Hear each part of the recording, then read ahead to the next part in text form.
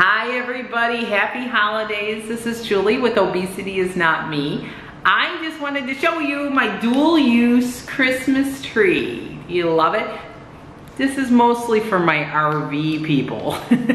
when you live in a small space like an RV, this is awesome. This is a rosemary. This is a, oh it smells so good.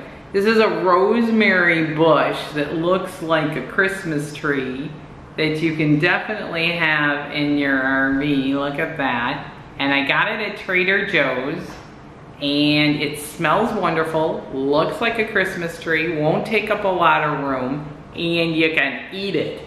I actually just used it for my roast.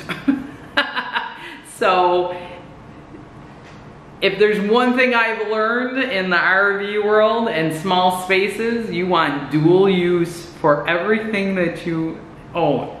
So I'll definitely put this Adventures with Charlie as well as my, my, uh, my Obesity Is Not Me. Uh, rosemary really gives a lot of flavor for, you know, no calories, no extra stuff. So yeah, and for your meat, definitely, definitely a win with this. It was $10.99 by the way.